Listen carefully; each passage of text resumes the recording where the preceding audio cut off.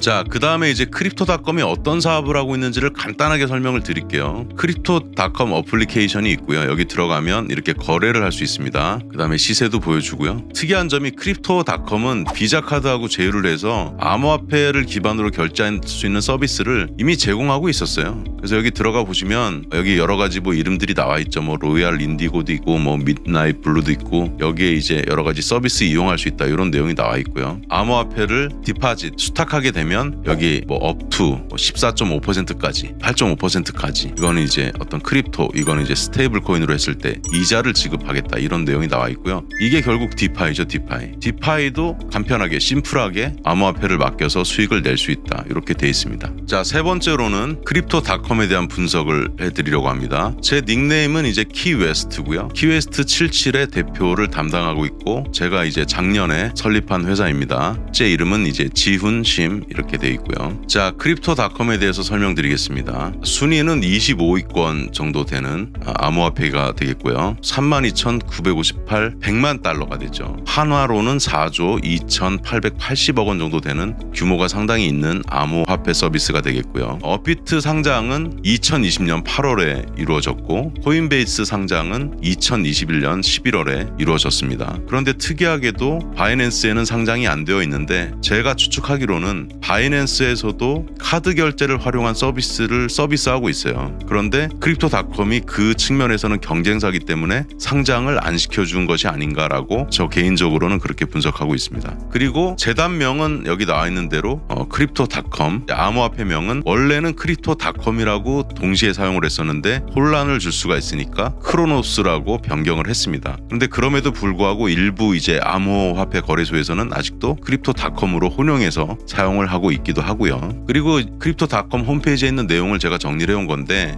Our Vision 우리의 비전이 뭐냐?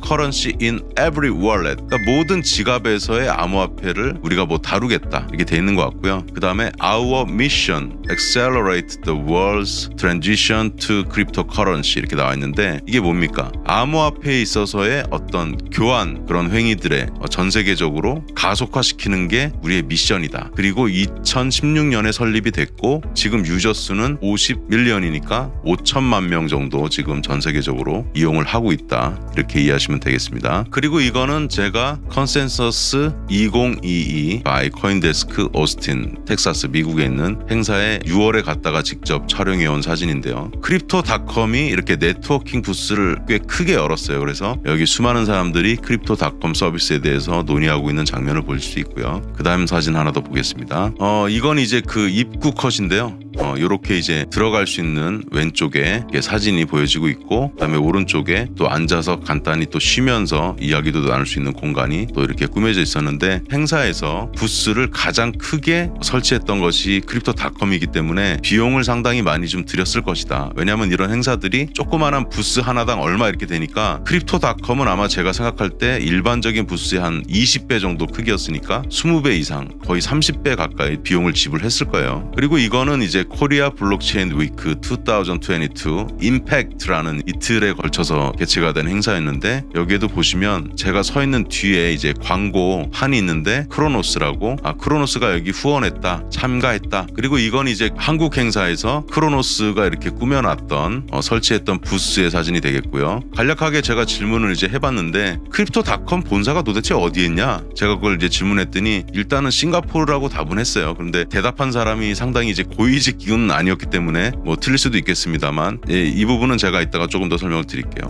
그리고 크리스 마잘렉이라는 사람이 여기 홈페이지에 나가면 설명이 나와 있는데 이분이 이제 원래 홍콩을 기반으로 해가지고 회사를 설립하고 이런 일들을 했었다 이런 설명들이 나와 있고요. 일단은 저는 이제 회사 홈페이지에 이런 창립자 그 다음에 어떤 사람이 지금 일하고 있는가가 명확하게 기재가 돼 있는지를 매우 저는 중요하게 본다. 왜냐하면 그렇게 운영하지 않는 암호화폐들은 좀 문제가 있는 암호화폐일 가능성이 매우 높다 이렇게 보고 있는 것이죠. 그 다음에 한국 총괄 책임자는 이제 패트릭 윤 이분은 이제 비자 코리아 카드 이제 회사 이런 여러 가지 이제 금융 회사들에서 근무를 했었던 경력을 갖고 있으신 분 같고 이분이 한국 총괄 책임자로 지금 일을 하고 있다. 그래서 기회가 된다면 저도 이분은 한번 만나서 이야기를 나눠봤으면 좋겠습니다. 자 그리고 요거는 마지막으로 간단하게 이제 광고를 보고 가실 텐데요. 크립토닷컴은 어 사실 전 세계적으로 가장 인기 있는 스포츠가 F1 그랑프리 팬들입니다. 거기에 지금 스폰서로서 이렇게 광고를 계속 지속적으로 하고 있고요. 그리고 한 8개월 전쯤에 맷 데이먼 제가 아주 사랑하는 또 배우 중에 한 명 본 시리즈를 제가 다 본 사람으로서 맷 데이먼을 기용을 해서 광고를 하고 있는데 광고비도 많이 들겠죠. 그리고 이런 이제 지속적인 광고를 하고 있고 맷 데이먼이 또 상당한 또 브레인으로 알려져 있습니다. 광고 잠깐 보고 가실게요.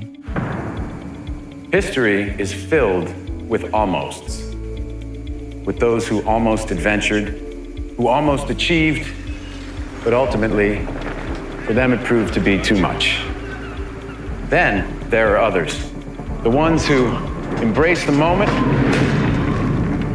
and commit.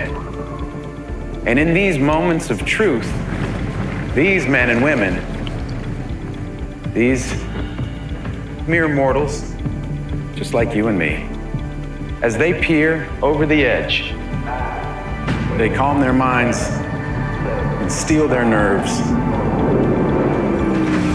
with four simple words that have been whispered by the intrepid since the time of the Romans Fortune favors the brave.